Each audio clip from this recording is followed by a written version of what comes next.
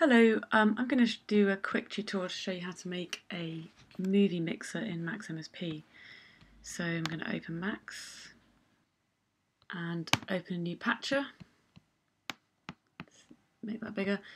Um, and the part of Max MSP, uh, Max MSP that you use for video is called jitter. Um, so on the right here you've got loads of objects, you've got the jitter objects. I'm just going to go to get a blank object and type in jit.jitter qt.movie because that's I know what I want. It plays a QuickTime movie.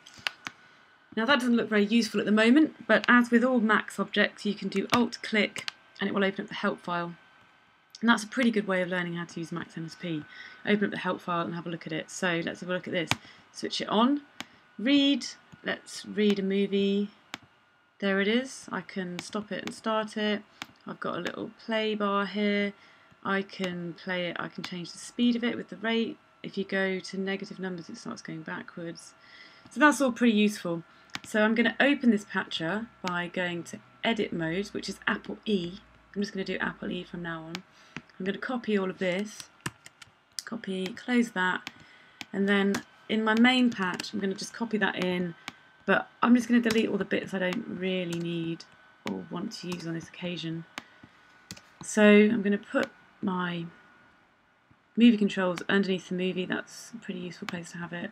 Uh, it's a bit big. Put the rate over there. So now I've got a little movie player. Let's put a movie in it. There it is. Okay, so now I'm going to just duplicate that, put it over here. So now I've got two movie players. Um, oops, I'll pick a different movie. And now I want to be able to mix between the two. So, um, by the way, to, to use the patch, you need to close it. So I'm pressing Apple E to close it, then I can press start and stop and use it. So Apple E again to open it.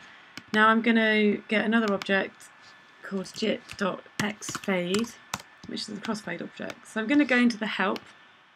And I only just got Max 6 and I realised today there's a ready-made movie mixer here. So let's just have a quick look at that pick a movie, pick another movie, and using this between actually between 0 and 1 it fades between the two.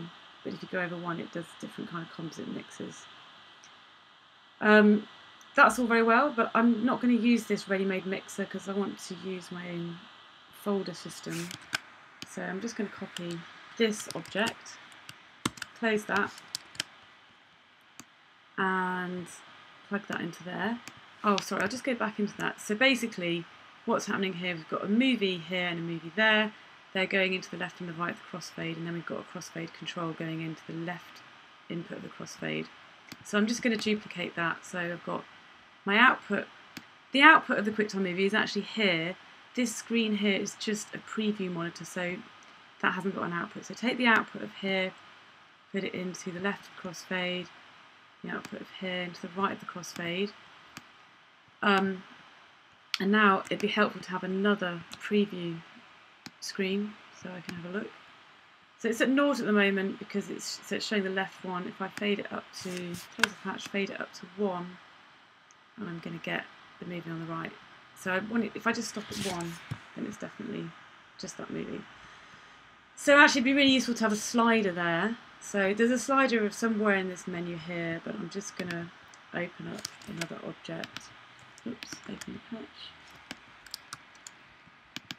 And I'm going to just type slider, oops, slider. Okay, that's kind of useful, but it'd be good if it was horizontal. So I want to change some of the parameters of my slider, so I'm going to do Apple I, which opens the inspector over here. And I'm going to go to all its parameters and change the orientation to horizontal and then rearrange it so it looks like that. Then actually I just want to fade between 0 and 1 um, so I'm going to change that. Um, if I just put 1 in and tick float then it gives me dec decimal outputs. Okay. So now I've got slider to fade between 2. Brilliant! I've got a movie mixer, that's fantastic. Um, now what would be useful is to um, perhaps have a MIDI controller attached to some of these things. So that's a physical interface, I've just got a Korg nanoKONTROL, which you can look up. It's quite a useful one for video mixing. And I want to assign one of the sliders to this so that I can do it um, physically rather than having to use the mouse. Um, it gives a lot more control. So open patch. Now to use my MIDI controller, I've just plugged it in the USB and I'm going to do control in, CT control in. And what I need to do is just find out what the outputs of my MIDI controller are. So I'm going to get some number boxes. Just copy that one. And so I'm going to use fader, wiggle fader, and I can find I see that it's going from 0 to 127 because that's what MIDI does, and it's MIDI channel 1, uh, controller number 15. So what I can do now is just copy that and instead of having control in without anything else I can put 115 and that automatically chooses that slider. So then if I just put a number box under there now if I move that slider I just get 0 to 127 actually I need between 0 and 1 so I'm going to get an object and you can use an object box to do any kind of simple maths transformation minute so I'm going to do divide by 127 um, with a dot after it to make sure, oops, that's corner, with a dot after it to make sure that um, it gives me decimal output. So let's just put that into there, delete that line, and then put that into there. Let's see what we get this time. Oh, no, between 0 and 1, no decimals. That is because I've got the wrong kind of number box. I need this number box with a dot. It says flonum, float number. Remember float means it's got decimal points. Okay, so now that's perfect, great. So I need, I just need to plug that into my slider. That. So now, oh great, I've got a control without using the mouse, I can use my MIDI controller. So now I can um, close the patch, I can read a movie in. Oh, what's this one? Flying in, no, I think i have pecking. So now, oops, so yeah, I can fade between those two. While I'm on that one, I'm going to read a different movie in. I'm going to fade that in. Great, I've got a video mixer. But it'd be really good if I could dump a whole folder of movies into my video mixer and then just mix between them. This does get a bit more complicated because you have to start looking at file paths. So I've got a ready-made one. I now have, this is basically a way of putting a, dropping the sample folder into this area here and then it coming up the list. And then when you select from the list, it gives you the movie you've selected. All these kind of things here are just basically uh, ways of storing information. A reg is a way of storing information. Um, and these two symbols will get rid of any spaces you've got in the names of your movie.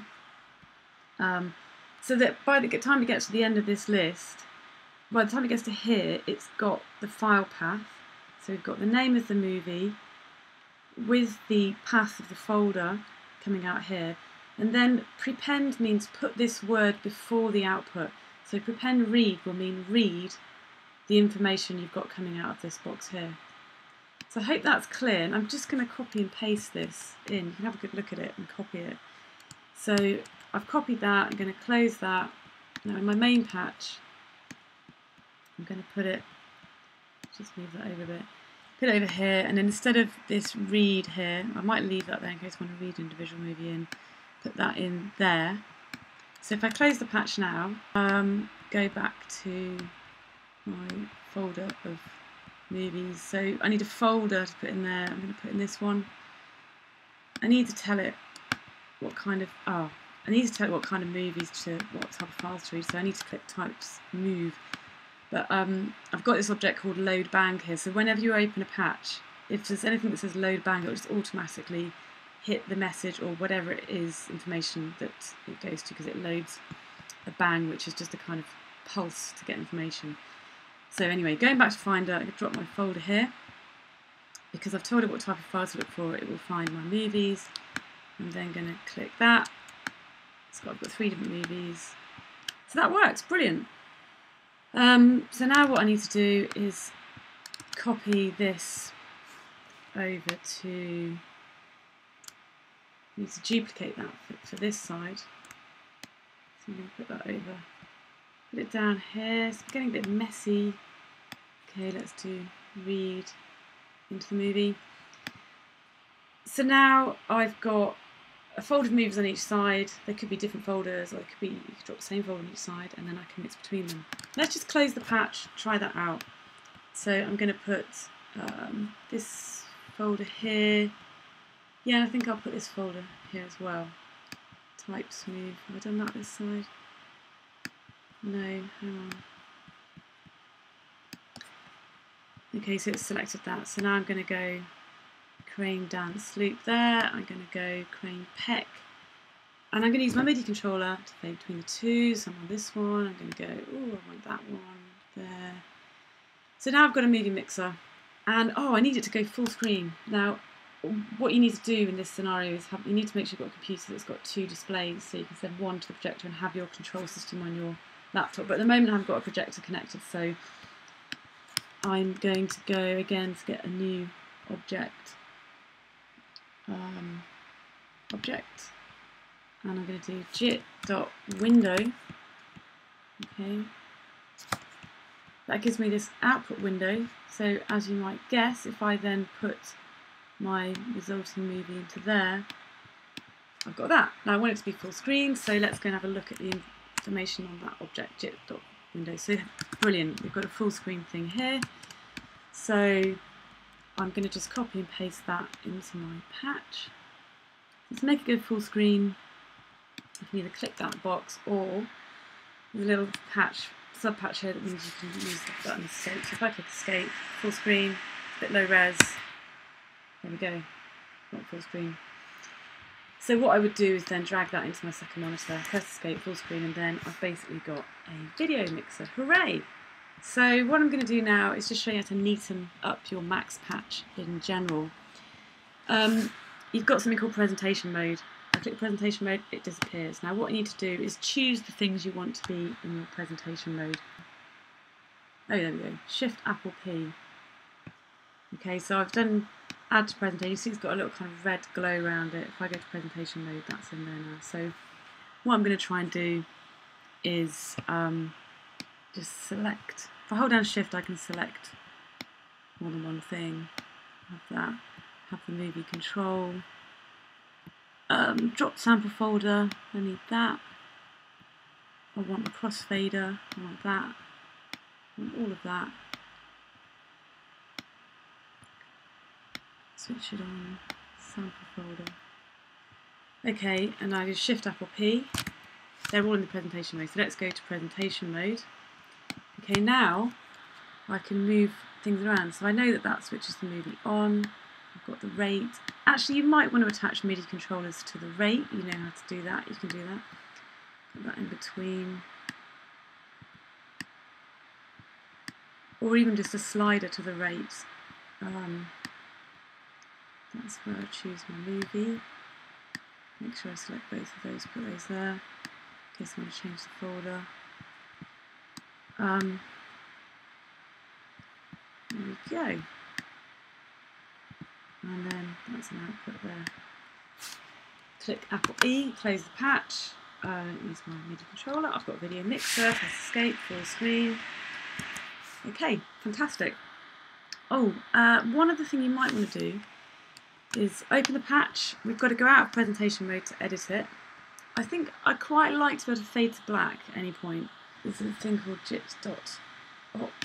So you just write that, jit.op. Open the help on that. So um, if I actually get rid of that movie, if I have that on one and naught, it fades it in and out. So what I need to do is just copy, I don't know, this much and put that in here, don't need that. So I'm going to put my final output through here. Um, I'm going to change that to 1 so it's always 1 at the beginning. Whoops.